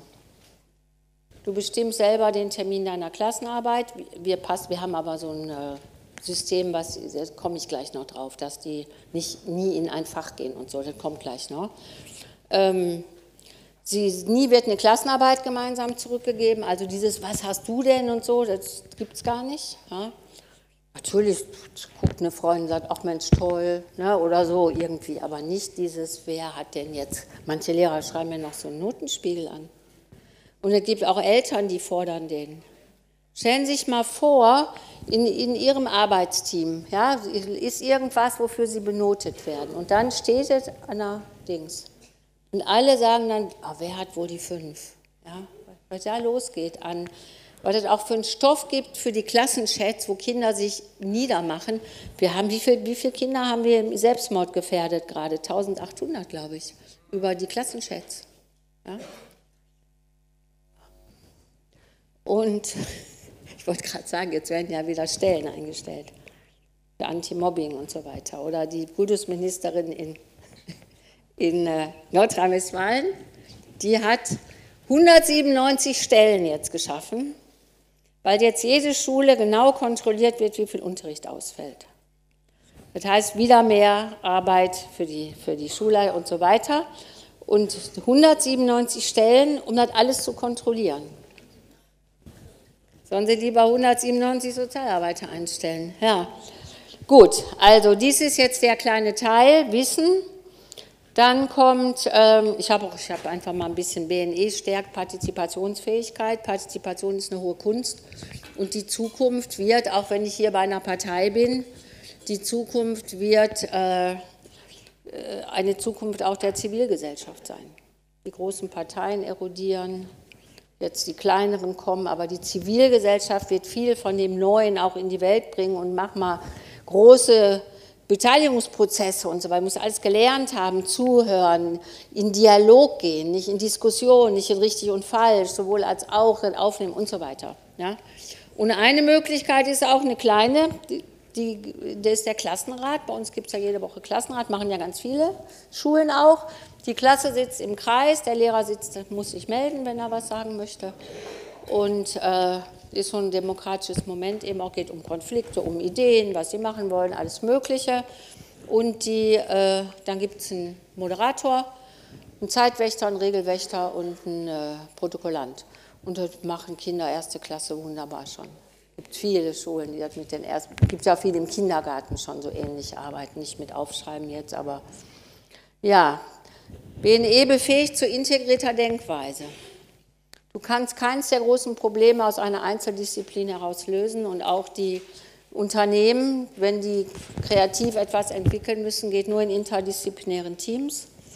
Und auch diese SDGs, die haben alle so Unterziele und von Ziel 1 bis 11 sind die Unterziele noch im Wachstumsparadigma.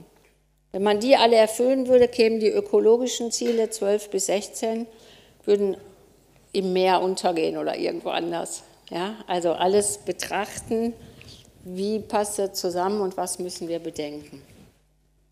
Ja, und wir machen das im Projektlernen. Wir haben einen Tag die Woche Projekt, fünf Stunden. Und äh, da geben so Fächer Stunden rein. Und es gibt ein Oberthema, meinethalben Wasser. Ähm, und dann äh, denken sich die Kinder in Gruppen dazu Forscherfragen aus. Eine Gruppe will vielleicht wissen, wie marode sind die, das wäre schon eine sehr anspruchsvolle, wie marode sind denn die, tatsächlich die Rohre in Berlin? Oder was geben die ab oder so? Oder die gehen ins Klärwerk und bauen das hinterher. Und die nächsten gucken, was macht Nestle in Brasilien, kauft, kauft da die Quellen auf, verletzt Menschenrecht auf Wasser. Und eine dritte Gruppe hatte äh, virtuelles Wasser gehört, hatte nicht verstanden. Die sind dann auf den Alexanderplatz und haben 100 Leute befragt, was ist virtuelles Wasser. 98 hatten den Begriff noch nicht gehört. Zwei hatten eine vage Vorstellung und dann haben die angefangen zu recherchieren und haben eine große Ausstellung aus Pappmaché gemacht, um das visuell zu visualisieren. Virtuelles Wasser ist von der Wiege bis zum Produkt. Und in einer Jeans stecken zum Beispiel mehr Wasser beim Kauf, als ein Mensch in 20 Jahren trinkt.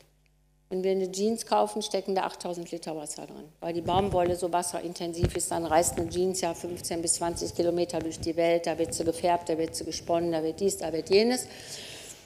Und, und, und, haben sie alles Mögliche herausgefunden. Und dann ist daraus geworden eine Tauschbörse. Dann haben die Kinder gesagt, aber keine Jeans mehr kaufen ist ja auch nichts, ist ja, soll ja auch gar nicht so sein, aber nicht immer den Billigscheiß und wegschmeißen oder wir tauschen. Ne? Jetzt haben wir einmal im Monat große Kleiderbörse, ne, wo getauscht wird und auch immer gut was los ist. Die Erwachsenen machen da auch schon mit.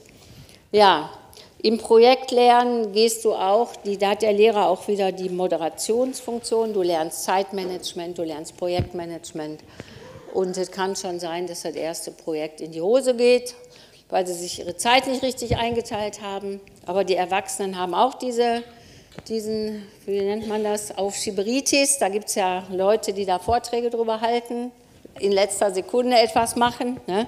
Und dann kriegst du eben bei uns keine fünf, sondern dann sitzt du im Kreis und dann wird geguckt, woran hat es gelegen? Worauf musst du beim nächsten Mal aufpassen? Das ist Lernen. Ne? Reflektieren, gucken, lernen, aus dem, was passiert ist, lernen. Ja, mal eben gucken. Ah, doch, ich zeige jetzt noch hier eine Minute. Ach so, halt. Ich muss noch mal eben etwas sagen als Vorspann. In Klasse 10 arbeiten bei uns drei Fächer zusammen: Geschichte, Religion und Kunst. Und sie befassen sich ein halbes Jahr mit dem Nationalsozialismus und ähm, arbeiten auch kreativ dazu, auch wieder mit Forscherfragen hinterher. Und das ermündet in eine Ausstellung im Abgeordnetenhaus, die dann eine Woche für die Öffentlichkeit da ist und von den Schülern betreut wird. Und die machen immer so tolle Sachen. Da habe ich gesagt, ich muss da mal einen Filmer hinschicken, dass der mal den Aufbau filmt. Und davon zeige ich jetzt aber nur den Anfang.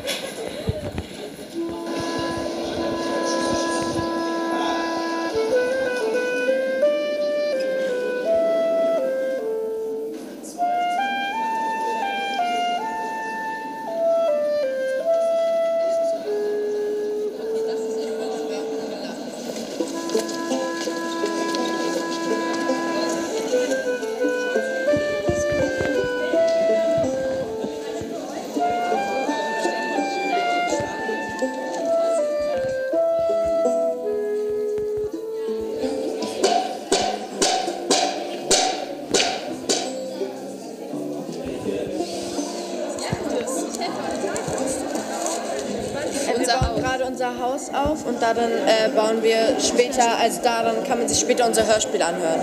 Und wir sind halt aufs Thema Euthanasie gestoßen und kannten uns da nicht so wirklich aus und wollten halt da mal nachforschen. Dann haben wir zusammengeschlossen und wir machen jetzt ein Tagebuch, ein selbstgeschriebenes Tagebuch aus der Sicht einer Jüdin.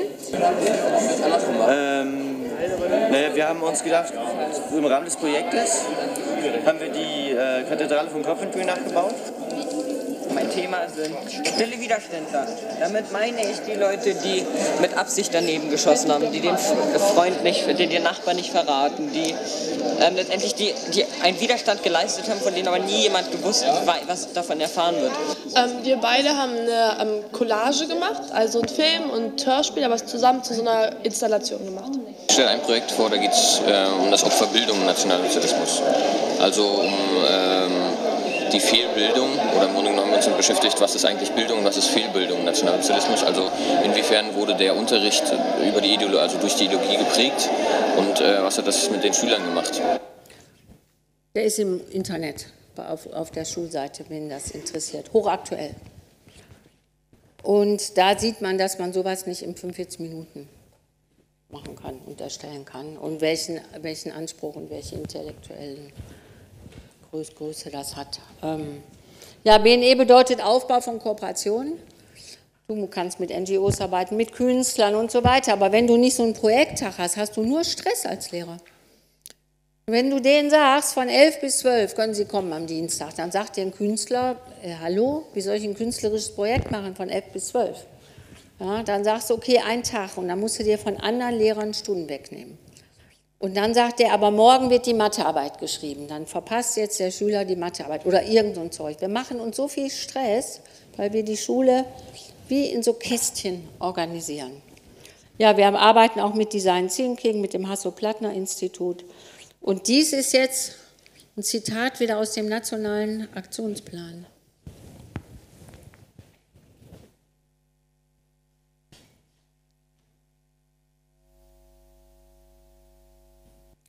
Die Schaffung einer Partizipationskultur in Schule und Gesellschaft ist doch toll, ne? Und die alles äh, uns als Auftrag geben.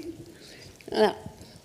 ja, und dann haben wir, äh, unsere Schüler haben alle, ähm, also die Klassen haben 26 und diese beiden Klassenlehrer, die zuständig ist, und jeder hat 13 Schüler für, als, zum, als persönlicher Coach. Ja? Tutor und Tutant heißt das bei uns. Das heißt, jeder Lehrer hat zwei bezahlte Stunden wo er sich mit denen trifft. Weil wenn du das nicht machst und die nicht unterstützt bei dem selbstorganisierten Lehren, manche brauchen ja vier Jahre, bis sie das dann können, dann kann es oft nicht gut gehen. Da fällt dann auch auf, einer hat zwei Englisch-Bausteine gemacht, aber sich nicht zum Test angemeldet.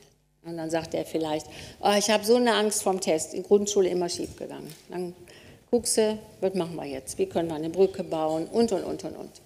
Da kommen auch persönliche Dinge dann zur Sprache. Dann haben wir einmal die Woche die Schulversammlung.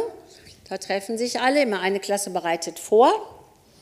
Und ähm, da ist immer das öffentliche Lob. Die stehen da alle an zum Loben oder sich bedanken. Und das ist total berührend. Und sehr mutig, dich vor 350 andere zu stellen und zu sagen so und so und danke. Ja, aber ist ganz, ganz, ganz wunderbar. Lehrer natürlich auch dabei. Und dann kommt Lied der Woche, singen wir dann zusammen. Manchmal lernen wir auch ein Lied der Woche zusammen. Dann gibt es Speak Your Mind. Da kannst du auf die Bühne gehen und Kritik äußern oder einen Vorschlag machen. Und dann gibt es immer noch die Geburtstagskinder, die werden dann auch besungen und so weiter und so fort. Ist eine wunderbare Gemeinschaftserfahrung, wo dann aber auch Leute von außen kommen, Dinge vorstellen können, Kinder ihre Projekte vorstellen. Und in der Oberstufe haben wir alle 14 Tage Menschen mit Botschaften da, aber wenn jetzt wie hier ein, ein Friedensnobelpreisträger kommt, dann ist er natürlich auch in der Unterstufe. Ähm, also es sind entweder berühmte Leute oder der Nachbar von nebenan, der ein gutes Flüchtlingsprojekt gerade macht oder sonst was. Ja? Äh, und wir hatten letztes Jahr fünf alternative Nobelpreisträger da. Das macht natürlich mit der Schule was, mit den Lehrern, mit allen alternative Nobelpreisträger sind die besten Vorbilder, die ich kenne, weil die ja ohne groß Geld oder so zu haben, ihre Idee verfolgt haben, drangeblieben sind und richtig die Gesellschaft verändern. So, und jetzt kommen unsere wichtigsten Fächer, die sind nämlich wieder ein Musterbuch, die sind gar nicht in der Schule. Und da ist auch gar kein Lehrer dabei. Die sind im Leben. Da haben wir drei Fächer, Verantwortung, Herausforderung und alle ins Ausland. Verantwortung wurde 1998 an meiner Schule in Essen erfunden. Da haben irgendwann, als die Lehrer keine Stunden in Projekt geben wollten, haben die Kinder gesagt, wir brauchen doch die Lehrer gar nicht, wir gehen alleine. Und äh, Verantwortung heißt, jeder übernimmt eine verantwortliche Aufgabe im Gemeinwesen. Das kann etwas Soziales sein, etwas Ökologisches. Suchen sich die auch selber und kann man so ab ja, wenn man mit einer Grundschule anfängt, muss man immer gucken, dass ein, dass ein ähm, Aufsicht dabei ist. Ne? Aber so ab sechste, siebte Klasse brauchst du da auch gar keine Aufsicht. Ja, die gehen in Kindergärten, in Grundschulen, die haben, machen da zum Beispiel naturwissenschaftliche Versuche mit den Kleinen. Du kannst was Kreatives machen, kannst aber einfach nur spielen, wenn du im Kindergarten bist alte Leute, entweder im Sen in der Seniorenresidenz heißt das ja heute, oder zu Hause, die einsam sind, brauchst ja nur die Pfarrer fragen, die wissen ja sofort, wo einsame Menschen sind. Und öko ökologisch, die gehen auch in Schulklassen, machen Unterricht zu ökologischen Themen. Das denken die sich alle selber aus. Ich erfahre immer die irrsten Sachen von, äh, wenn die mal so auf der Bühne dann auch erzählen. Ne? Ja, und das ist Herzensbildung, die ja in vielen Schulen fehlt. Und äh, weil das ist so berührend und da wartet einer und die freuen sich über mich. Ne? Und da lernst du eben auch selbstwirksam zu sein, sehr früh. Dies ist jetzt ein besonderes Projekt. Wir haben ja in Deutschland, vor allen Dingen da auch in den großen Städten, haben wir ja so viele sogenannte Bildungsverlierer, ja, die zehn Jahre in die Schule gehen, keinen Abschluss haben und dann habe ich das den unseren Schülern erzählt, dann haben die gesagt, boah, ist ja ungerecht, die können da nichts für, die haben keinen, der ihnen hilft zu Hause, wir müssen was tun. Und jetzt haben wir schon seit sechs Jahren vier Schulen, so mit 95 Prozent Migrationsanteil, so in Neukölln und so. Und da gehen immer so jedes Jahr 50 Kinder hin und helfen da im Unterricht, in den ersten Klassen. Und die Kinder kommen alle angerannt und sagen, oh, lernst du heute mit mir? Die Lehrer sagen, könnt ihr nicht jeden Tag kommen. Unsere Kinder tun was Wichtiges. Und wenn man jetzt an den Heidmeier denkt, wir tun was für die Begegnung der Lebenswelten. Freiwillig würden unsere Kinder auch nicht nach Neukölln gehen. Die haben nämlich am Anfang gesagt, werden wir da nicht erstochen auf der Straße? Da habe ich gesagt, nicht. Ne? Und jetzt gehen sie zu denen nach Hause in die. Meine Vision ist, dass das alle Achtklässler machen, würde die soziale Transformation unserer Gesellschaft sein.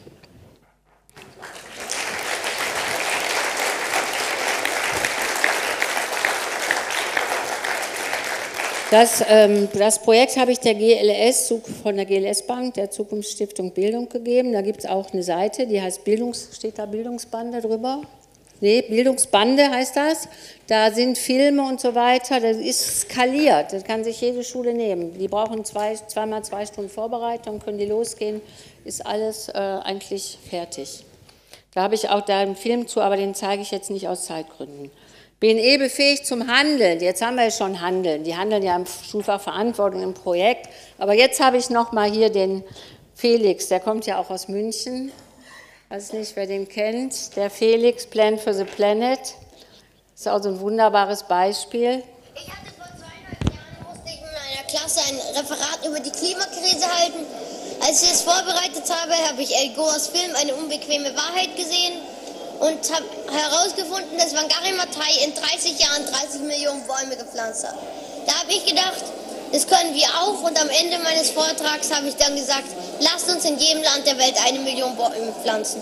Kurz darauf gab es ganz, ganz viele Kinder, die mich damit unterstützt haben und dann wir haben dann zwei Monate später das offiziell gestartet. Ja, größte Projekt der Welt geworden. 15, also vor zehn Jahren sind Sie gestartet. Jetzt muss man sich vorstellen, Sie sind Lehrerin oder Mutter, stellen Sie sich mal vor, ja, dann kommt der und sagt, und Kinder pflanzen jetzt in jedem Land der Welt eine Million Bäume. Würden bestimmt viele Erwachsene denken, der Kleine spinnt, ne? und würden nichts sagen. Aber seine Lehrerin hat gesagt, Felix, geh durch alle Klassen. Seine Schulleiterin hat gesagt, Felix, geh in andere Schulen und seine Eltern haben ihn unterstützt. Und ich habe ihn sofort eingeladen als Mensch mit Botschaft Unsere waren da genauso alt wie er, zehn Jahre oder elf. Und wir haben dann 100, versprochen, 100.000 Bäume zu pflanzen. Weil ich dachte, Berlin ist so die Hauptstadt, muss immer groß vorangehen mit einer Vision. Und Berlin hat ja auch 300.000 Schüler, ein Baum ein Euro. Ich, gedacht, ich hatte schon eine Fläche auch ne, für so einen Kinderwald. Und dann habe ich gesagt, ich schreibe alle Schulen an und dann haben wir doch mit 300.000 Schülern in 0, nichts haben wir da unseren Wald. Ne? Keine einzige Schule hat mitgemacht. Keine. Jetzt hatte ich allerdings nur die Schulleiter angeschrieben über den Verteiler. Vielleicht hätte so ein einzelner Lehrer mitgemacht. Äh, noch nicht mal aus meinem evangelischen Kreis, aber alle haben so Bewahrung der Schöpfung in ihrem Leitbild. Äh, ja, fällt ja Unterricht aus. Ja, und wer soll das vorbereiten und wo, soll das Geld herkommen und und und und. Aber das erste Argument war, da fällt ja ein Tag Unterricht aus. Ja, und wir haben dann, ach so, und zu dem Projekt vom Felix gehört noch, dass du als Klimabotschafter ausgebildet wirst. Grundschüler werden zu Klimabotschaftern ausgebildet, können dann Vorträge halten, überlegen auch, wie kommen wir an Geld, wie kommen wir an Medien, wo können wir überhaupt hingehen, ganz toll. Und ich bin ja so ein Freund von Peer Learning, mache ich schon seit meinem, äh, seit meinem ersten Jahr in der Schule. Ich war 13 Jahre am Gymnasium und da habe ich gesehen, was eigentlich in den Kindern steckt und immer raus Projekte gemacht. Und dann haben wir gesagt, ja, das können wir ja, die Ausbildung können ja unsere Jugendlichen machen. Dann habe ich die Grundschule angeschrieben und da hatten wir innerhalb von einer Woche 137 Anmeldungen. Wir haben jetzt ungefähr 500 Klimabotschafter ausgebildet und dann haben wir 100.000 Bäume gepflanzt. Und dann waren wir überall unterwegs, bis nach St. Petersburg, wo ich wurde eingeladen, haben wir mal Referentengehalt, haben die immer gekriegt. Ja, und dann haben wir auch Schüler als Energieberater ausgebildet, die sind dann wieder an Grundschulen gegangen und und und. Da könnten wir total nutzen. Also eine weiterführende Schule geht an Grundschulen, arbeitet mit den Grundschulen zu BNE jetzt und diesen Themen, mit Kindergärten und dann alle zusammen und die Kommune noch einbeziehen und die Eltern alle mitnehmen. Ist ein Riesenfeld. Hier die Lara zum Beispiel. Upsila, wo bist du da? Also ich war auf der Grundschule, also nicht auf der ESPM, sondern auf einer ganz normalen Grundschule und bin im Internet irgendwie auf Plan for the Planet Hinweis gekommen. von System dann Batterie fast mir, leer. Okay, Oh. Halt Hinweis, ich kann Batterie fast leer. Und dann bin ich zu so einer Akademie gegangen mit meinem Bruder zusammen, weil ich einfach mich für Umwelt total interessiert habe, auch einen Vortrag Nee, ähm, in unserer. Klasse gehört habe und dachte, ja, irgendwie muss man doch was tun, wenn so viel schief geht in der Welt. Und dann hatte, hatten mein Bruder und ich die Idee, dass wir halt in der Grundschule, wo wir waren, ähm, überall Vorträge halten und einfach alle Kinder aufmerksam machen darauf, was eigentlich wirklich in der Welt los ist. Und dann haben wir mit unserer Schulleiterin geredet, die war erst nicht so begeistert, aber irgendwie haben wir es dann doch geschafft, sie zu überreden. Und dann haben wir in allen Klassen der Schule Vorträge gehalten und am Ende sogar eine, also selbst eine Akademie veranstaltet. Ich war total stolz auf mich und auf meinen Bruder, weil wir einfach so viel bewegt haben. Und ich glaube, da kann man auch ganz schön stolz drauf sein, wenn man das alles geschafft hat. Und habe dann zum ersten Mal Frau Rasfeld kennengelernt. Ach, da können wir stimmen. Und war auch gerade in der sechsten Klasse, wo man sich dann auch entscheiden muss, auf welche Schule man geht. Und Das braucht man jetzt nicht mehr gucken. Die, äh, wollte ich jetzt? Ach so, nee, ich muss jetzt hier aufhören mit meinem Computer, weil ich den jetzt nicht aufladen kann, weil ich dann den rausziehen muss. Vielleicht ist es Ähm, eine gute Gelegenheit, Frau Rasfeld erstmal zu danken für Ihren langen und kenntnisreichen Schilderung und Vortrag.